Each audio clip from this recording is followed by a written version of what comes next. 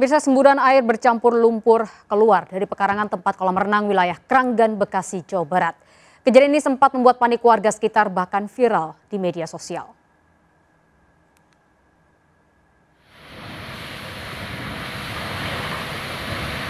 Semburan air bercampur lumpur ini keluar dari tanah di kawasan tempat kolam renang wilayah Kranggan, Bekasi.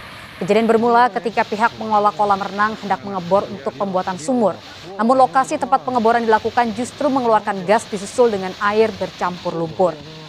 Pihak pengelola kolam renang telah melaporkan kejadian kepada aparat Polsek Pondok Gede dan telah mendapatkan penanganan aparat.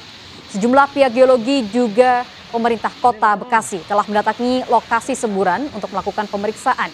Dan saat ini lubang semburan telah ditutup dengan batu namun air masih mengalir.